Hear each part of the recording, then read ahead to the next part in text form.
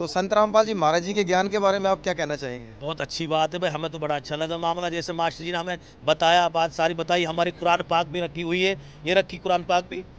हाँ सारी किताबें ने रख रखी है और कुरान पाक की आयत लिखी हुई देखो कुरान पाक रखा हुआ है। कुरान पाक के बारे में सारी चीज़ें बता रहे हैं देखो ये कुरान पाक रखा हुआ है पूरी तफसील के साथ में तो हमें तो बड़ा अच्छा लगा भाई। अब देखिएगा पवित्र कुरान शरीफ।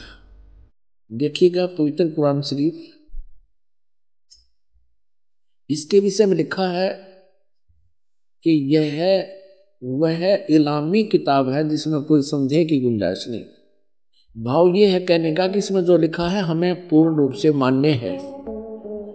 आज की इस खास पेशकश में हम बात करेंगे संत रामपाल जी महाराज के आश्रमों के बारे में। आज हम सबसे पहले बात करेंगे संत रामपाल जी महाराज के सबसे बड़े आश्रम के बारे में, सतलोक आश्रम धनाना, जो कि संत रामपाल जी महाराज के गाँव में स्थित है। इस आश्रम की व्यवस्थाओं के बारे में हम ये बात करेंगे कि आश्रम संत रामपाल जी महाराज के अन्य आश्रमों में सबसे बड़ा आश्रम माना जाता है और इस आश्रम की व्यवस्था, साफ़ सफ़ाई और इस आश्रम का निर्माण क्षेत्र काफ़ी जोरों शोरों पर चल रहा है। सतलोक आश्रम धनाना धाम में सभी धर्मों के लोग विज़िट करते हैं और संत रामपाल जी महाराज के सत्संग को सुनते हैं। तो चलो, आज हम बात करते हैं कि ऐसे मुस्लिम समुदाय के लोग जब संत रामपाल जी महाराज के आश्रम में पहुँचे तो उन्होंने क्या देखा और उन्होंने किस प्रकार संत रामपाल जी महाराज के समर्थकों ने उनके साथ व्यवहार किया, उससे वह बहुत ही अचंभित हो गए और उन्होंने ये कहा कि हमने जैसा संत रामपाल जी महाराज के प्रवचनों में सुना था कि उनका ज्ञान प्रमाणित है, महाराज के आश्रमों की व्यवस्था काफ़ी अच्छी है और यहाँ पर सभी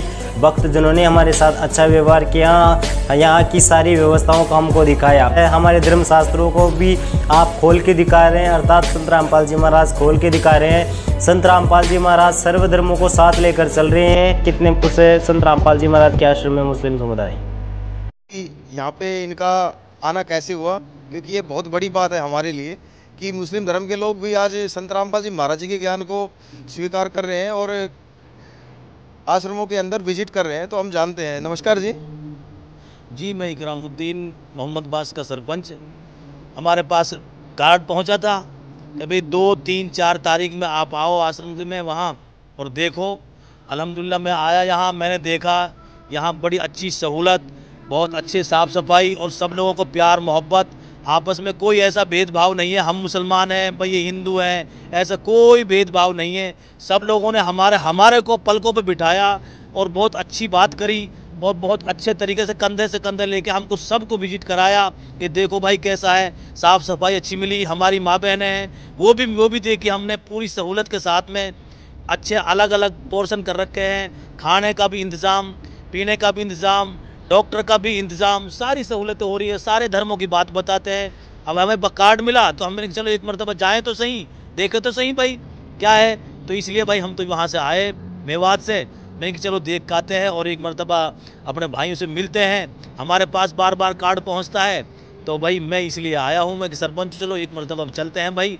मैंने देखा, मुझे बड़ी खुशी हुई और बहुत अच्छा लगा मुझे कि सारे लोग यहाँ सब इकट्ठे होकर नहीं, पूरे तरीके से काम कर रहे हैं। पूरा ख्याल रख रहे हैं, गरीबों का भी, अमीरों का भी, जो भी कोई आ रहा है, कोई भेदभाव नहीं है, बहुत अच्छे तो अभी आपने सुना, मुस्लिम समुदाय के लोगों के विचार, उन्होंने कहा कि संत रामपाल जी महाराज के आश्रम की व्यवस्था में बहुत अच्छी लगी और संत रामपाल जी महाराज का प्रमाणित ज्ञान हमें बहुत अच्छा लगा। संत रामपाल जी महाराज सर्वधर्मों को साथ लेकर चलने का काम कर रहे हैं। आप भी अपनी राय कमेंट बॉक्स में दे सकते हैं कि आपने कौन से आश्रम में विज़िट किया और आपने सतलोक आश्रमों की व्यवस्थाओं को किस प्रकार देखा।